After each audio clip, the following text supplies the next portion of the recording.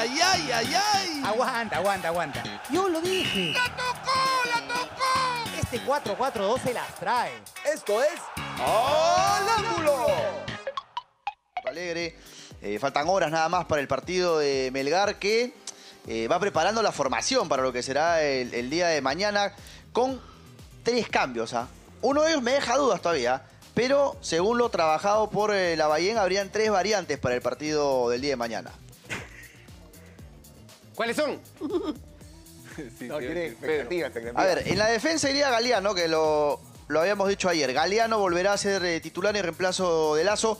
Y en el medio campo, de los tres que jugaron el, el partido anterior, Pérez podría ser el sacrificado para que Tandazo arranque como titular eh, junto a Orsán y junto al Chaca Arias. Es decir, repetiría eh, estos tres eh, medios centrales que jugaron, por ejemplo, con Racing en Argentina y también contra Deportivo Cali en Colombia. Y arriba sí viene, digamos, una, una variante, ¿no? No arrancaría aparentemente Bordacar y sí lo haría Vidales junto con Kenji Cabrera, que dejó buenas impresiones en el partido, y Cuesta.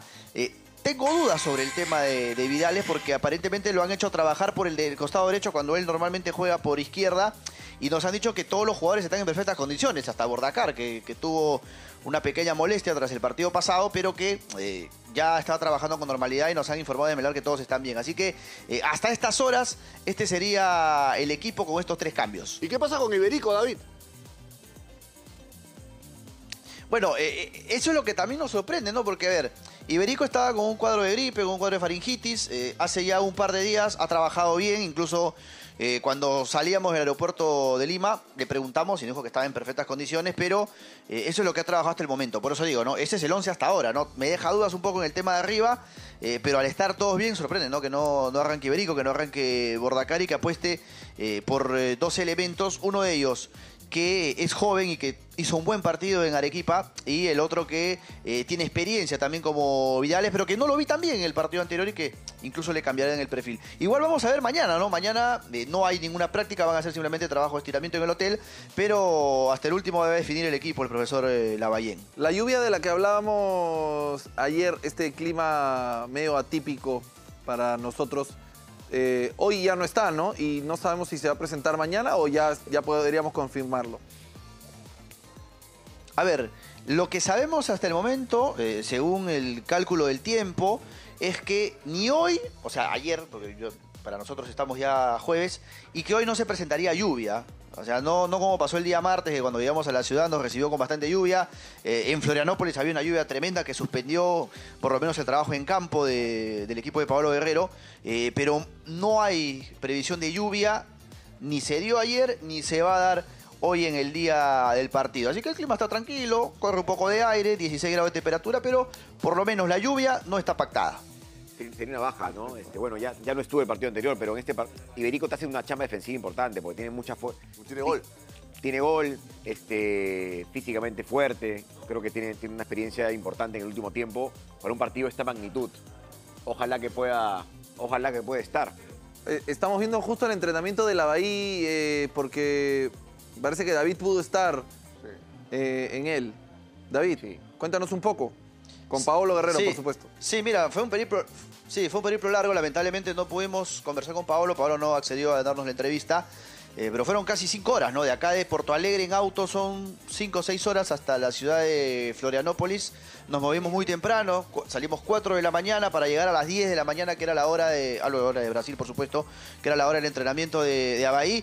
Y bueno, nos sorprendimos con esta tremenda lluvia en el estadio La Resacada que impidió que el equipo de Pablo Guerrero pueda trabajar en campo, ¿no? Trabajó finalmente, pero en vestuario, imágenes que las tenemos desde la mañana a través de las redes de Movistar Deportes, que las hemos tenido también en los diversos programas.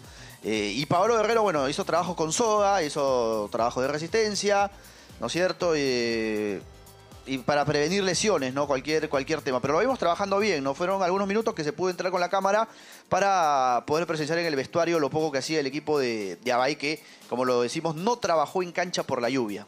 Oye, David, pero aguanta, ¿tú has ido especialmente a cinco horas para verlo a Pablo Guerrero? Eh, sí, bueno, en realidad estábamos de acá cerca y, y bueno, en verdad. ¿Cerca? eh, se ¿Cinco horas? trató ¿Estás de loco pactar tú? la entrevista con él. Cinco horas no me vas a ningún, a ningún lado, No. me llevan cinco horas. Eh, eh, No, es que lo, que lo que pasa es que es parte de, ¿no? Natalia Delgado, nuestra productora, trató de pactar la entrevista con, con Paolo, fuimos. y, y bueno, en realidad, si no había una respuesta, vamos a ver qué pasa, dijimos, ¿no? Hay que estar ahí, ¿no? Está que- David, te aplaudo esa gestión. Él dijo que no. Y esa movilización, él dijo pero- que no. O sea, Claro, que Guerrero no, nos ha visto llegar. Pero igual- sí. Pero, o sea, los percibió peruanos, han Ahí venido está la acá. cámara. Los percibió peruanos que vinieron acá a ver mi entrenamiento. Te pregunto, no sé, los percibió. la verdad que Ah, sí, porque no- no- no el vio. único reportero Sí. peruano y tal. Sí. Cámara de Movistar Deportes, lo vio ahí. Sí, pero bueno, a dos no, no, metros. no nos hizo caso. Ya. Lo saludó acá en nuestra cámara fresita, David Guamán, lo grabó y ¿te respondió o no? No respondió. Pero ¿por qué no tuvo la deferencia? No, Se estaba un acercó poco a saludar estaba por como- lo a decir, muchachos, disculpen, hoy día no hablo porque me duele el No, estómago, no. mañana hablamos. No, no, no, no. No tuvo esa deferencia, muy mal, No, Pablo no, Guerrero, no. me parece a No mí. hubo ¿eh? ningún acercamiento. Yo veo que una persona No, vea... no, música polémica, por Me favor. parecería a mí, ¿no? Te felicito, David, por haber ido a la iniciativa. Está buenísima esa, esa gestión periodística, pero la verdad, ¿sabes qué? Si eres un jugador peruano que está en Brasil y ves que prensa peruana, que nunca ha ido, porque iban cuando estaba en Flamengo de repente o de repente en Gremio, pero hoy día en Abahí, que yo sepa, nadie fue, y alguien va a darle pelota, por lo menos no des la entrevista y no te provoca. No es obligatorio, pero saludan. gracias por venir, gracias, en cual- se las debo. Discúlpeme, no, hoy día no quisiera expresarme. se no respeta de perfectamente, pero la verdad que me parece una descortesía inconveniente, innecesaria, ¿no? No, no es la entrevista, da educación. Pero bueno, es- esa cortesía sí la tuvo la prensa, al menos de la Bahía, porque te dejaron entrar. ¿No? Sí, Entiendo que pero- esa gestión la hizo Sí. directamente Natalia. Sí, por lo menos nos dieron la, la posibilidad de hablar con el presidente, ¿no? Al menos, como para no irnos con las manos vacías, hablamos con, Ah, con el bueno. presidente, grabamos la cancha para tener algo, ¿no? O sea, para justificar en Bien, realidad bien nuestro ahí, bien periplo ahí, por jugado. allá.